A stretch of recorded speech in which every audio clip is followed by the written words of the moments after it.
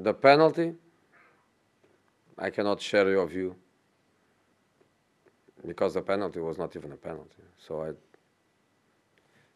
there is no point in commenting that.